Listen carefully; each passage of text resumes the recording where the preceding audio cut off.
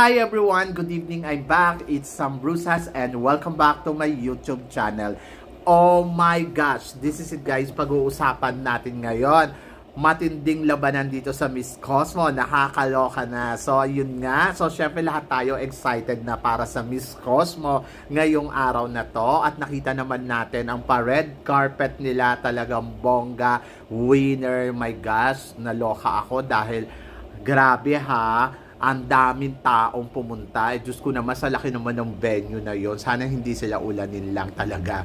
Ewan ko ba, ba't ko, kasi open door kasi sila, kaya medyo nakakatakot. So, ando doon nakakabahan ka kasi nga, di ba? So, baka mabasa yung mga tao, tapos yung mga kandidata. Pero kasi kung closed door yon eh di bongga, wala kang iisipin na ganon.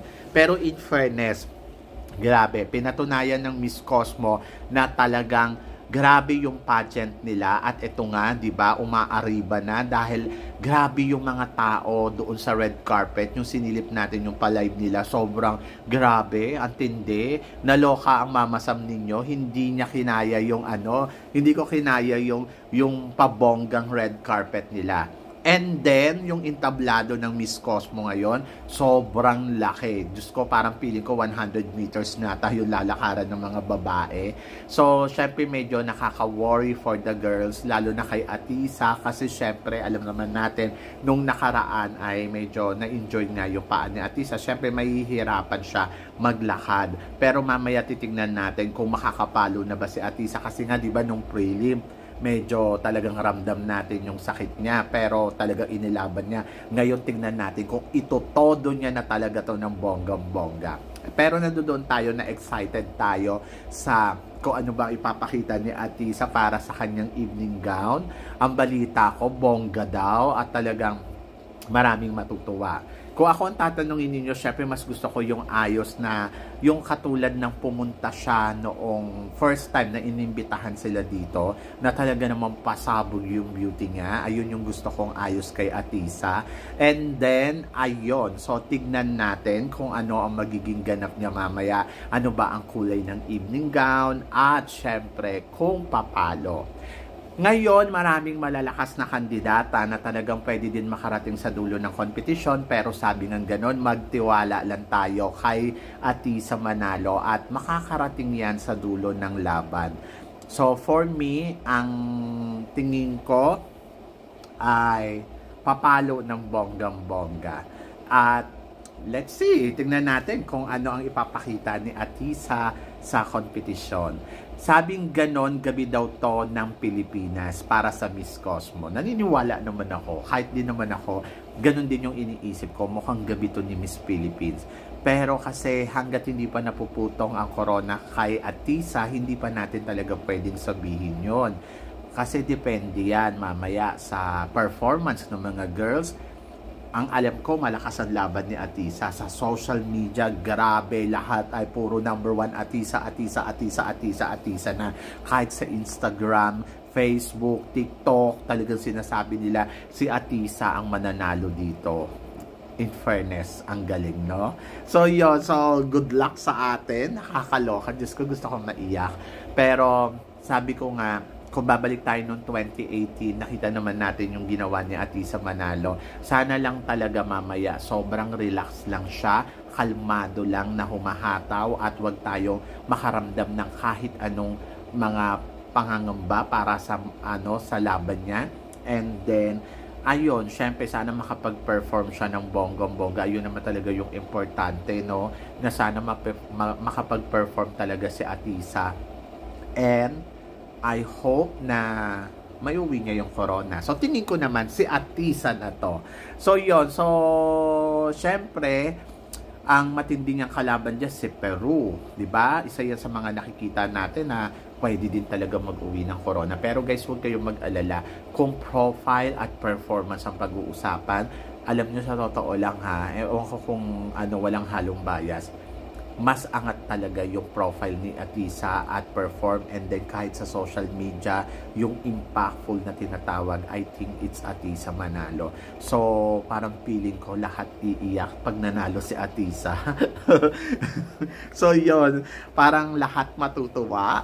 Syempre kahit nga nandito ako sa ano sa event namin ay talaga namang alam mo yon hindi ako makag, ano, makapaghintay na makita ang koronahan ng ating Reyna bilang Miss Cosmo and I'm so excited for her. Um, sabing ganon, paano daw pag hindi daw nakuha ni Atisa yung corona? Alam nyo sa totoo lang guys, maliit na porsyento lang yon Siguro sa 100%, 90% makukuha niya yung corona. Yung ano doon, yung tawag dito, yung 10% ayun lang, yung porsyento na hindi niya makukuha ang corona. Pero overall, feeling ko naman makukuha niya to ng bonggang-bongga. And I trust Atisa. Naniniwala ako sa kakayahan ni Atisa. Naniniwala ako sa galing ni Atisa Manalo. At higit sa lahat, alam ko na ilalaban niya to ng bonggang-bongga. Nagpasalamat din si Atisa sa kanyang ano account. Sinabi niya maraming maraming salamat daw Pilipinas sa suporta na binigay natin sa kanya at ayun nga laban daw na laban daw niya laban daw natin to. And then may mga balita na ko si Indonesia isa din daw yan na parang talagang lumalaban. Si Thailand actually pagdating sa Southeast Asia malakas din naman talaga sila. So, parang feeling ko, ang pwedeng maging dark horse mamaya, USA.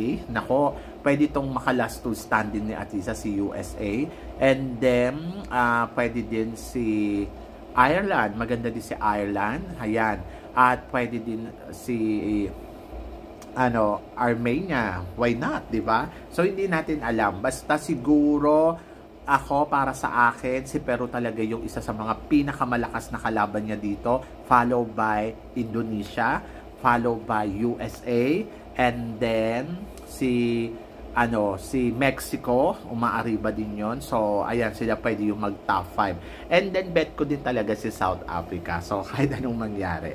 And then, ayun, sa gaw na mamaya susuotin ni Atisa Manalo. So, malalaman na natin yan. Pasabog daw talaga ang gagawin na performance ngayon ni Atisa Manalo. At yan yung antabayanan natin. At sana ang ending ng Miss Cosmo, lahat ng mga pinag-uusapan natin, happy tayo. Pero guys, ako guys, nasisiguro ko sa sarili ko mag-perform si Atisa Manalo ng bonggang-bongga dito sa Miss Cosmo. And then, I think, nakikita ko na gagawin niya ang lahat ng makakaya. Makuha lang niya yung corona talaga. And depende na lang niya sa organization kung gusto nila ibigay kay Atisa or hindi. But performance ni Atisa, wala na akong masabi dahil she did well talaga para sa laban niya dito sa Miss Cosmo at yan yung abangan natin. But for now, masasabi ko talaga na from ano talaga sa puso ko, Atisa na to. So, yon kayo ba guys? Ano guys ang tingin ninyo? Atisa nga ba ang kokoronahan ngayong gabi bilang Miss Cosmo? And then, gaano kalaking porsyento na nakikita ninyo na si Atisa ang mag-uuwi ng corona? Gabi nga ba talaga ng Pilipinas ang Miss Cosmo ngayong araw na to. So please comment below para at least malaman ko naman kung ano naman ang chika mo dito sa mga pinag-uusapan natin ngayon. So yun guys, syempre maraming salamat sa inyong lahat sa suporta at pagmamahal na binibigay ninyo syempre dito sa channel ko. At sa mga hindi pa po nakaka-subscribe dyan, please don't forget to click like and subscribe my channel at i-click nyo po yung notification bell para updated kayo sa aking mga chika. Sabi ng ganon, keep smiling lang and laban lang. So guys, hanggang dito na lang. Hanggang sa muli nating chikahan. See you tomorrow. See you later guys. Thank you.